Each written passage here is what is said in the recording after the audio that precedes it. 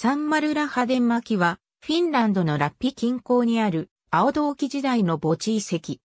スカンジナビア半島にある、青銅器時代の遺跡の中では、最重要のものの一つであり、遺跡の花崗岩製の石塚群のうち、33の石塚がユネスコの世界遺産に登録されている。それらは古いものでは3000年以上遡る、紀元前1500年頃から前500年頃のものである。石塚群は、タンペレとラウマの間の戸から外れた、偏僻な場所にひっそりと佇んでいる。もともとは、ボスニア湾岸にあったのだが、土地の隆起によって、今は海岸線から 15km 離れた場所に位置している。石塚のうち4つは1891年に考古学者ウォルテ・ホーグマンが発掘したものである。